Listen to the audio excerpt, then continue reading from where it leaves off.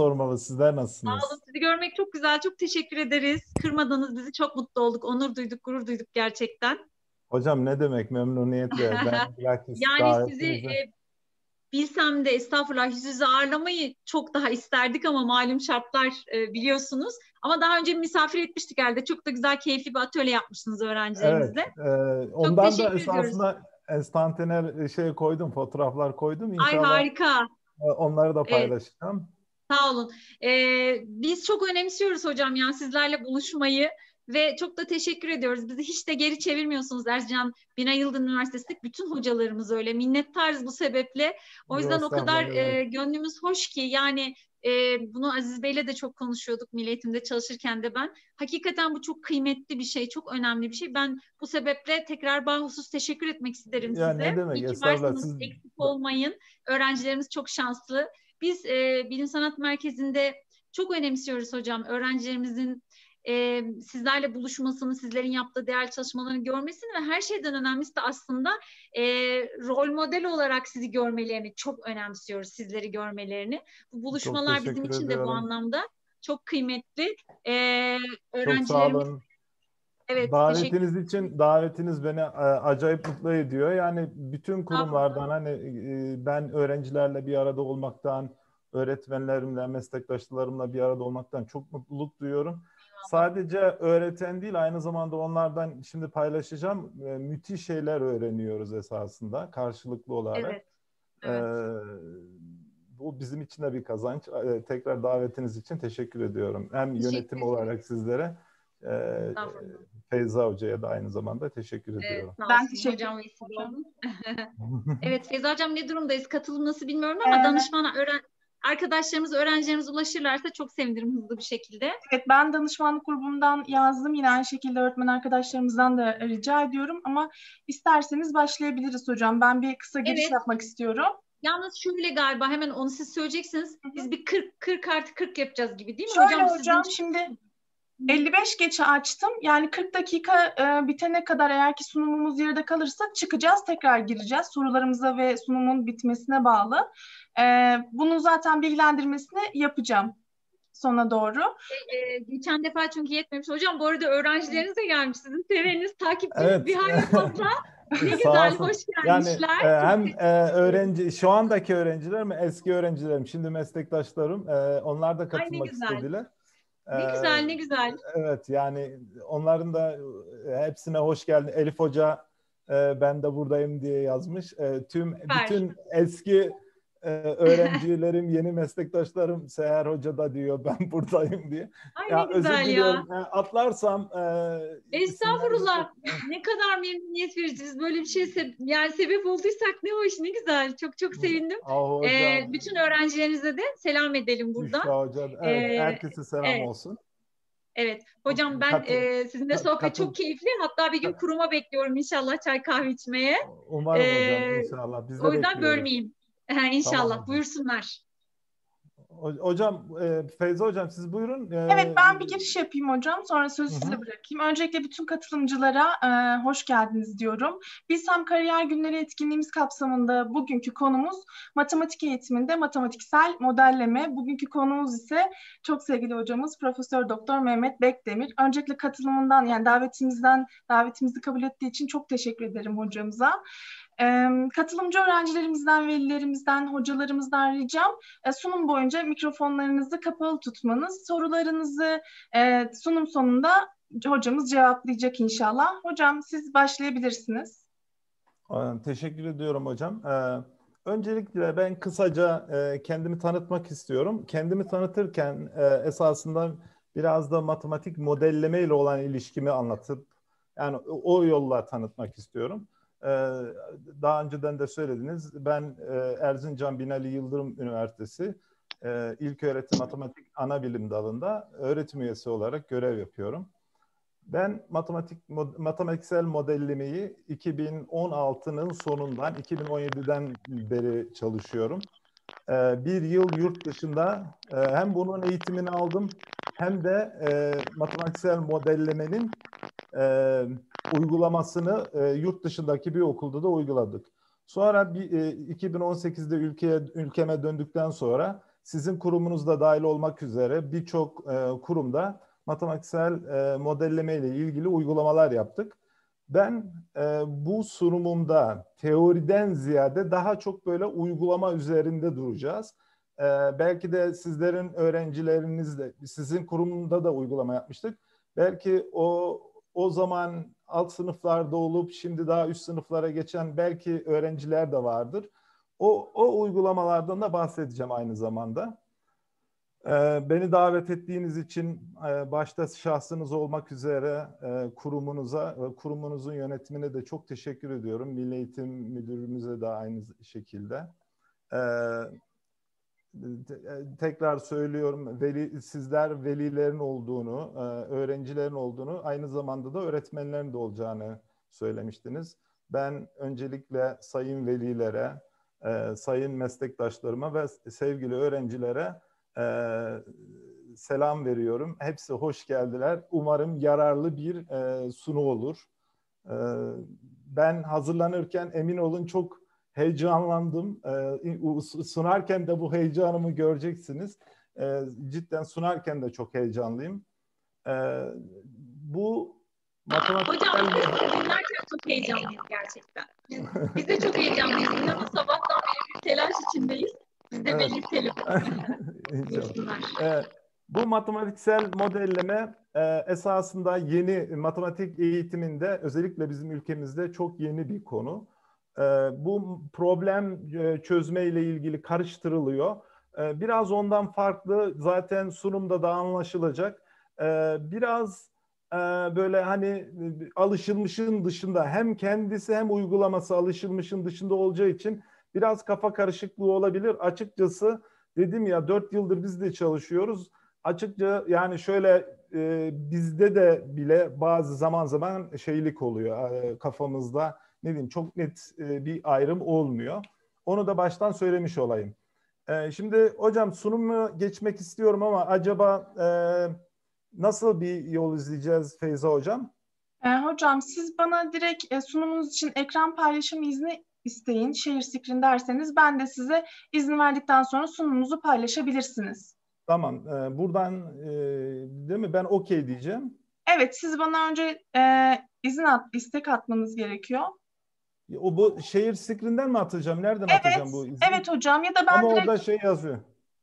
Ee, diyor ki disability yazıyor burada ama. Hocam şöyle yapalım. Ben şu an share screen'i açtım. Siz şu an e, paylaşımınızı yapın bakalım gelecek mi? Şu anda geliyor mu? çok az hocam sesin çok az geliyor gibi bana mı öyle bilmiyorum ama diğer Hocam e, şu anda da mı az geliyor? Yok hocam bize iyi geliyor. Yıldız hocam galiba Tamam şimdi evet. güzeldi. Tamam tamam şimdi güzeldi hocam. Yıldız evet. hocam sizin sesiniz kesikli geliyor e, bize. Ben sizden gideceğim hocam. Ben eğer ben ilgiliyse tamam devam edelim. Galiba sizden değilim. Çünkü az önce öyle bir şey evet. orada ama demek ee, ki Hocam şu anda görünüyor mu? Ben hallediyorum hocam. Siz buyurun. Hocam şu anda tamam. görünmüyor sunumunuz. Ben şu an ekran paylaşımını açtım. Siz şu an direkt share screen diyerek paylaşabilirsiniz sunumunuzu. Tamam hocam. O zaman bir dakika. Şuradan share screen yapayım. Sonra evet, sunumunuza e, tıklarsınız. Tamam hocam. Şöyle yapalım. Ben Evet, e, şu anda alacağım. geldi hocam. Evet, şu anda geldi değil mi? Evet, geldi şu anda ekranın. Evet. ee, şimdi sunumda dediğim gibi çok teori üzerinde durmayacağım. Ee, örnekler üzerinden ve uygulamalar üzerinden konuşacağım. Ee, e, soru sorulabilir. Bilmiyorum tabii Feyza Hoca e, nasıl bir planlama yapıldı. Hocam ee, şöyle, benim için... Hı hı. çok özür dilerim. Ee, siz sunumunuzu yapın, soruları da en sonunda e, alalım diye düşünüyorum. Okay, okay. Yani e, fazla da uzatmayacağım. Endişe etmeyin, sıkmayacağım. E, Yok, dolayısıyla hocam, ra- rahat dinleriz. olmanız. Evet. Şimdi bir e, sunumumun içeriğinden kısaca bahsetmek istiyorum. Birinci olarak matematiksel modellemeye örnek olmayan durumları sizlerle paylaşacağım. İkinci olarak matematiksel modelleme örneklerinden bahsedeceğim. Bu matematiksel modelleme örneklerinde göreceksiniz dedim ya yeni ve biraz e, esasında günlük hayatla ilişkili. Biz bu durumu nasıl e, problem durumuna ya da biz uygulama durumuna geçiriyoruz. Fark ettim, merak ettim etkinliğini yaparak bunu nasıl yaptığımızı da göstereceğiz. E, şey bahsedeceğim. Ee, sonra matematiksel modelleme bir fazla değil 2-3 slayttan matematiksel modelleme nedir ne değildir teorisinden çok az bahsedeceğim. Sonra e, bir tane literatürden örnek aldım. Bir tane de kendi uyguladığım örnekten örnekler sunacağım. Sınıf içi uygulamalarında neler yapıyoruz? E, bunları fotoğraflar üzerinden e, bahsedeceğim. E, son e, durumda da bu matematiksel modelleme öğrencilere ne kazandırıyor? Bunları bir e, bir slaytta listeler halinde e, sıralayacağım. Sonra da sizin sorularınızı bekleyeceğiz. E, sorularınız eğer sorularınız olsa sorularınızı cevaplayacağız. Şimdi birinci olarak bizim kitaplarımızda, bütün testlerimizde şu şekilde sorularla karşılaşıyoruz biz. Örneğin Ayşe öğretmen bir alışveriş mağazasından yüzde yirmi indirim kuponuna sahiptir. İlaveten onun yüzde on beş öğretmen indirimi de var. Buna göre Ayşe öğretmen 589 TL değerinde bir elbise almak isterse bu elbiseye ne kadar ödemesi gerekir? Şimdi bu buna biz kelime problemi diyoruz ama bu matematiksel modelleme durumu ya da problemi değil bizim için. Bu e, problem çözmenin e, bir uygulaması. Veya şöyle bir e, problem görüyoruz. Bir merdiven duvar ile bu merdiven arasında 64 derecelik açı olacak şekilde bir duvara yaslanıyor. Eğer bu merdiven 15 metre uzunluğunda ise merdivenin ayakları duvardan ne kadar uzaktadır? Esasında bu da matematiksel modelleme durumu değil. Bu matematiği modelleme. Şimdi matematiği modelleme nedir diye kafamız karışabilir. Ee, şöyle söyleyelim. Mesela biz kesirleri öğretirken 1 bölü 2 diyoruz. Bir tane bütün alıyoruz. O bütünü ikiye bölüyoruz. Bir tarafını tarıyoruz. Esasında bu matematiği modellemek. Matematiksel modelleme değil bu. Pekala matematiksel modellemeye örnekler nasıl? Ee, özür dilerim. Bu tip örnekleri biz bu tip sınıflarda yapıyoruz. Yani öğrenciler arka arkaya oturuyor. Ee, diğer çocuğun ensesini görüyor. Öğretmen tahtada soruyor. Öğrenciler eğer cevapları varsa ya da söz hakkı veriliyorsa el kaldırıyor. Bu tip sınıflarda biz bunları e, bu, e, matematiksel modelleme olmayan durumları bu, genelde bu sınıflarda işliyoruz. Pekala matematiksel modelleme durumuna örnek olabilecek e, problem durumları ya da durumlar nelerdir? Bunlardan bahsedelim. İkinci Dünya Savaşı dünya nüfusunun azalmasına neden olmuştur. Eğer İkinci Dünya Savaşı olmasaydı dünya nüfusu bugün ne kadar e, e, ne kadar farklı olurdu? Bu bir matematiksel modelleme e, örneği mesela. Yeni evli çift bir evi kiralamalı mı, satın mı almalı? Bu e, diğer e, matematiksel modelleme örneği ya da durumu. Profesör Doktor İlber Ortaylı, Ortaylı'nın yeni kitabı en çok satan kitap olacak mı? Müdür okul bahçesini aydınlatmak istiyor. Okul bahçesi nasıl aydınlatılmalıdır? Bunların her biri modelleme ile ilgili örnekler esasında.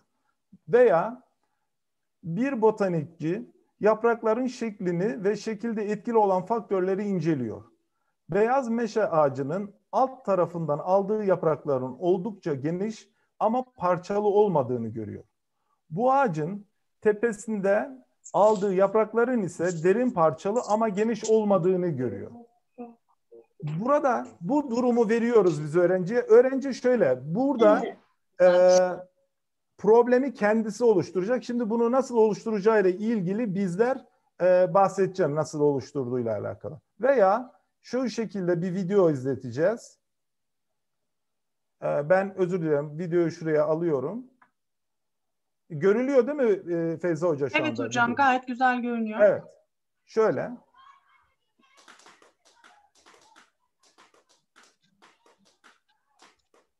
Bu kadar. Bir defa daha izletmek istiyorum.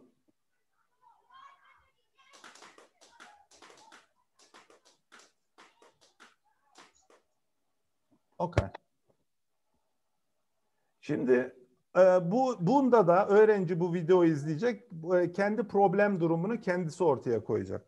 Şimdi aklımıza şu gelebilir. Ya bu nasıl bir şey? Yani bunları biz nereden gün? Şimdi biz ha, günlük hayatımıza baksak, günlük hayatımızda tam da böyle değil mi bizim hayatımız? Mesela yeni bir evleniyoruz. Acaba ev mi alsak? acaba e, kiralasak mı diyoruz. Öyle değil mi? Veya bir ağaca bakıyoruz, inceliyoruz ağacı. Bu botanikçinin fark ettiği şeyleri fark ediyoruz. Veya videoyu izliyoruz. Videolarda aklımıza e, değil mi ona bakarak bir şeyler öğreniyoruz. Pekala biz bu durumda öğrencilere bunu nasıl e, şey durumuna getireceğiz? Birinci olarak şu şekilde sınıfta bu, bu videoları izletiyoruz öğrencilere. Öğrenciler bu videoları istediği kadar izliyorlar. Yani bir defa, iki defa, üç defa, dört defa. Sonra öğrencilere tahtaya da olabilir veya kağıda. Bir tarafa fark ettim, diğer tarafa da merak ettim diye başlık açıyoruz öğrencilere. Fark ettim, fark ettim ki balonlar kırmızı. Fark ettim ki örneğin öğrenci diyor ki fark ettim ki işte o köpek 10 saniyede patlattı. Ben örnek veriyorum. Hani orada zaten zamanı görüyor. Bunu biz sınıfta uyguladığımızda sonra da merak ediyorum. Acaba merak ediyorum ki bu balonları e, köpek ne kadar da ne kadar zamanda patlatabilir gibi. Şimdi burada tabii ki öğrenci bazı kabullerde, bazı e, hani problemlerde gö- göz önünde bulundurarak merak ettiği durumlar var. Mesela bizim yaptığımız etkinlikte çocuklar buraya merak ettiklerini, fark ettiklerini yazıyor. Sonra içinden bir tanesini seçiyoruz. Sınıfta onu onunla ilgili e, hani ne diyeyim modelleme durumlarına başlıyoruz. Bir bir sınıfımızda neyi merak ettiler biliyor musunuz? O balonlar belki de fark etmediniz. Balonlar bir halının üzerine seri, konulmuş. O halının ne kadar kaç metrekare olduğunu merak etti bizim öğrencilerimiz. Biz onunla ilgili etkinlik yaptık. Yani şu şekilde orada tabii ki bakın biz hiçbir şey vermiyoruz öğrenciye. Öğrenci o balonlara bakarak tabii ki gördüğünüz gibi sınıfta da balonları veriyoruz. Balonların büyüklüklerini kendileri tayin ediyor. Oradaki e, bazı kabullerde bulunuyor. Mesela köpeğin o veli orada bir tane çocuk dedi ki o köpekle o boşluk var o halı arasında. Köpeğin boyuyla o boşluk bir yerdeydi dedi. Sonra baktım ben köpek iki balon genişliğinde dedi. Bakın orada her şeyi çocuk kendisi kabul ederek bu şeylere başlıyor. Bu e, sonuç yani ne diyeyim durumlara ya da problemleri çözmeye başlıyor. Bu şekilde biz bir şeye karar veriyoruz. Bu öğrenciler bunun üzerinde çalışmaya başlıyorlar. Şimdi yani şöyle düşünelim. Bizim zihnimizde o halının genişliği ne kadardı? Çocuk bunu bulacak. Bununla ilgili kabullerde bulunacak. Bununla ilgili e, sonuçta bir e, tahmin yani orada modeller oluşturarak sonuçta bir tahminde bulunacak. Pekala bu bulduğu gerçek hayatta geçerli mi? Bazısı diyor ki mesela 400 metrekare diyor. Soruyorsun ki soruyoruz ki ona pekala bu senin bulduğun mantıklı mı? Yani bu 400 metrekare bulduğun soruyoruz ona evin ne kaç metrekare? Onunla kıyaslayarak aa diyor ki çok fazla olmuş. Mesela o ona göre kendisi düzenleme yapıyor. Devam ediyorum. Pekala matematiksel modelleme nedir ne değildir? Teorik olarak 2-3 slaytta bahsedip e, tekrar model, e, örneklere geçeceğim. Matematiksel modelleme özel olarak hazırlanmış veya kelime problemleri değildir. Matematiksel modelleme daha önceden geliştirilmiş bir modelin yani mesela Pisagor teoremi gibi hani ikinci örnekteki gibi e, modelin bir uygulaması da değildir. Matematiksel olmayan durum problemlerde problemi soran kişi tarafından bütün kısıtlamalar ve amaç verilir. Biz daha az önce de söyledik hani öğretmen şu kadar e, şey fiyatında elbise alsaydı ne kadar öder? Her şeyi sınırlamasını ve amacını problemi soran kişi bize veriyor. Tabii ki bu bunda modelleme olmayan durumlarda belirli ve doğru cevap çok önemlidir. Ee, yani yollar, metotlar çok önemli değil. Sadece e, doğru olan e, bizim için, doğru cevap bizim için önemlidir. Pekala matematiksel modelleme nedir? Matematiksel modelleme kısaca gerçek dünyadaki durumları anlamlandırmak için matematik kullanma sürecidir. Yalnız bu süreç döngüsel bir süreç. Gerçek hayatta bir durum var, onu matematiksel dünyaya taşıyoruz. Sonra bulduğumuz o matematiksel modeli gerçek hayatta geçerli olup olmadığını test ediyoruz. Yani bir döngüsel e, yapı var burada. İkincisi Matematiksel modellemede, modellemede kısıtlamaları, amaçları, hatta ve hatta problemin ifadesini modelleme, modellemeci yani öğrenci tarafından tanımlanır. Matematiksel modelleme sürecinde kullanılan stratejiler, matematiksel fikirler arasında kurulan ilişkiler ve yaratıcılık belirli ve doğru cevabı bulmaktan daha değerlidir. Yani bir cevap bulması bizim için önemli değil. Çocuğun orada ilişki kurabilmesi, stratejiler kullanabilmesi bizim için daha önemlidir. Ben bunun ne demek olduğunu, bunların ne anlama geldiğini örneklerle sizlere anlatmak istiyorum. Şimdi şöyle iki tane göl var. Bu göl önce bu çalışma arkadaşlar e, Wikstrom ve e, Roske tarafından 2020'de yapılmış bir çalışma. E, lise öğrencileriyle yapılmış bir çalışma. Bu çalışmada e, o lisenin bulunduğu e, ilin ya da ilçenin etrafında bulunan iki tane göl var.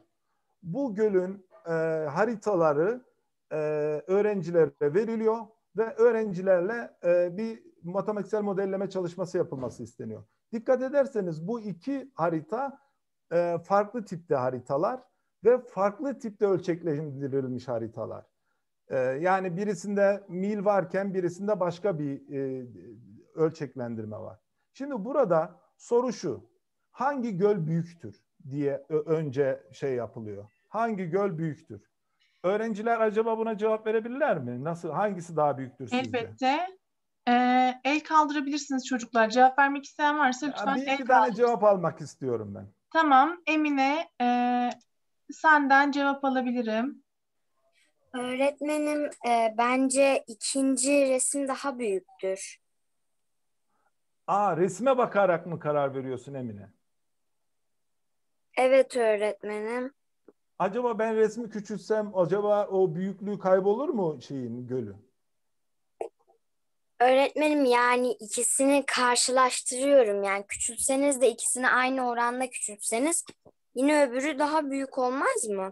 Okay. Emine şunu e, şunu e, baştan kabul ediyor. Diyor ki Emine benim anladığım. Emine ben yanlış söylersem beni düzelt. Diyor ki ben bu ikisinin aynı ölçüde ölçülmüş bir göl olduğunu düşünüyorum. Resme bakıyorum. Resme göre bunlar büyüktür diyor. Şimdi e, e, ben bu öğrenciler nasıl bunlara modellemişler, nasıl cevap vermişler bunları anlatmak istiyorum sizlere. Özür dilerim e, üst düzey yani belki e, daha alt düzeyde öğren özür dilerim alt sınıflarda öğrenciler varsa bazen e üst düzey kavram matematiksel kavramlar kullanacağım ama ikinci örnek size göre daha uygun olacak e, lise ve ortaokul e, özellikle 7-8'deki öğrenciler daha çok anlayabilirler hani söylediğimi. Ama diğerleri de anlayacak ne demek istediğimi. Şimdi bir grup öğrenci diyor ki aynı Emine'nin benzer e, metodunu kullanıyor. Bu göller diyor e, Konya'ya benzer. Yani üstü geniş, aşağıya doğru azalır bunlar. Yani şöyle Konik gibi olur diyor. E, Konya'yı bilmeyen var mı içinizde? E, özür dilerim çocuklar sizlere sizlere soruyorum. Ya şu yağ döküyoruz yani yağ dökerken şöyle huni var ya huni. Ona benziyor. hocam. Tamam. Her birinin... Ee, diyor ki bir grup öğrenci bunlar huni şeklindedir diyor. Şey özür dilerim koni şeklindedir. Ee, bunların yüzey alanlarını buluyorlar. Sonra bu yüzey alanlarını e, Huni, e, Koni'nin e, tabanında kare özür e, özür dilerim daireye daire olduğu için dairenin alanını eşitliyorlar. Oradan e, dairenin yarı çapını buluyorlar. Sonra burada en yüksek e, en en derin e, derinliğin uzunluğu da var.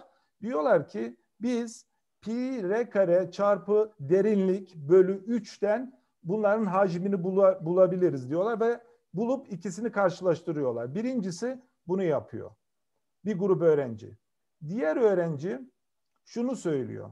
Diyor ki ben e, birinci resimde şunu görüyorum. Şurası dikdörtgenler prizmasına benziyor. Şurası da yarım e, daireye benziyor. Aynı şekilde yarım daire var. Burada bir silindir ile bir dikdörtgenler prizması vardır. Ben onların yüzey alanı çarpı e, derinlikten hacimlerini bulurum diyor. Ve bu da ikinci gölü de yine dikdörtgenler prizmasına benzetiyor. Şurayı da üçgen prizmaya benzeterek bunun hacmini buluyorlar. Böyle karşılaştırma yapılıyor. Yapıyorlar. İkincisi bu göl göl şeyini, e, resimlerini ya da haritasını izometrik ya da birim kağıdın üzerine getiriyorlar. Buradan derinliklerine göre bunları alanlara bölüyorlar. Bu birim alanları sayıyorlar. Buradaki derinliğe göre bunun hacmini buluyorlar. Ama diyor ki bir tanesi bir grup ya bu çok sıkıcı bir iş diyor. Biz bunun yerine bu yüzey alanlarını bulsak bu birim şeyde saysak burada ortalama derinlikte derinlikle bunu çarpsak diyorlar. O, e, bulsak o şeklinde bir grubu da öyle buluyor. Bir grubu diyor ki ama bu sefer yani mesela diyelim ki sığ olan alan ile derin olan alanın yüzey alan birbirine eşit olmadığı için e, aritmetik ortalama olamaz. Ağırlıklı ortalama olabilir diyorlar. Ne demek istiyorum ağırlıklı ortalama? Şöyle sizin anlayacağınız şekilde söylemek istiyorum. Ee, mesela diyelim matematik de, Türkçe dersiniz 6 kredi, 6 saat yani. Matematik dersiniz 5 saat, örneğin sosyal bilgiler 2 saat. Şimdi bunlardan aldığınız e, ortalama puan hepsinden aldığınızı 3'e böl, böl, bölmek var. Bir de onları 6 ile çarpıp 5 ile çarpıp 2 ile çarpıp toplam o kredilere bölmek. Yani ağırlıklı ortalama diyoruz biz ona. Ağırlıklı ortalamanın daha doğru sonuç vereceğini söylüyorlar öğrenciler. Orada ağırlıklı ortalamayı tartışıyorlar. Bir başkasında ise başka bir grup öğrenci ise bunları elipsoid eğrilerine şu şekilde bölüyorlar. Yine birim kare üzerinden birim kareleri hesaplıyorlar. O derinliklerine göre çarpıp derinlikleriyle yüzey alanlarını, hacimlerini buluyorlar. Ee, ben bunu çok hoşuma gitmişti ama sonra birinci haritaya bakınca orada elipsoidler var. Acaba sonra baktım ki oradan etkilenmişler galiba diye e, bu şekilde bunu e, farklı şekilde ifade ediyorlar. Şimdi devam edelim. Bir grubu da şöyle buluyor. Diyor ki biz maksimum hacmi bulalım önce. Şöyle yapıyorlar. Yüzey alanları hesaplıyorlar. En deriniyle çarpıyorlar. Maksimum hacmi buluyorlar. Sonra diyorlar ki biz bu maksimum hacimden şeyi çıkaralım. Bu az olan kısımları çıkaralım diye diyorlar. Bir kısmı da bu şekilde bu hacmi buluyorlar. Şimdi burada bu modelleri oluşturuyorlar. Sonra bir öğrenci diyor ki tamam biz bunları bu şekilde hesapladık. Ee, bir karara varıyorlar. İşte şu göl daha büyüktür, şu göl daha şeydir. Pekala yazın acaba biz e, yazın gölde su e, azaldığı için ne oluyor? Su gitgide seviyesi düşüyor. Acaba bizim bu bulduğumuz ya da kullandığımız metotlar, modeller acaba yazın çalışır mı? diye de bir soru sorarak bu şeyi e, özür dilerim e, bunu daha derinleştiriyorlar. Sonra en sonunda birinci göl var, ikinci göl var. Şuna karar veriyorlar. Pekala biz hangi göl büyük dedik? Pekala büyüklükten kastımız ne? Derinlik mi? Yoksa gölün karşıdan karşıya uzunluğu mu? Yoksa çevresi mi? Yüzey alanı mı? Yoksa hacmi mi? Şimdi burada bakıyorlar. Bu hesaplamalar yapıldıktan sonra şuna fark ediyorlar. Birinci gölün, özür dilerim, ikinci gölün derinliği fazla. Birinci gölün karşıdan karşıya olan uzaklığı fazla. Birinci gölün çevre uzunluğu büyük. Birinci gölün yüzey alanı büyük. Ama ikinci gölün hacmi büyüktür diyorlar. Bunlar arasında nasıl bir ilişki var?